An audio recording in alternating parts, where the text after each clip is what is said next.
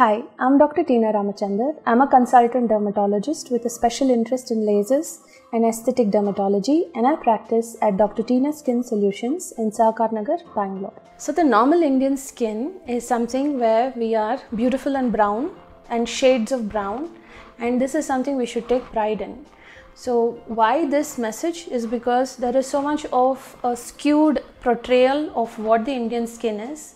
You have to know that certain things like having a little pigmentation in this area, the lip, or a little bit of a blemish is so very normal. Having keratosis pilaris on your hands is normal. Stretch marks is fine. These are all a part of your growing up years and this is something which will not 100% go away.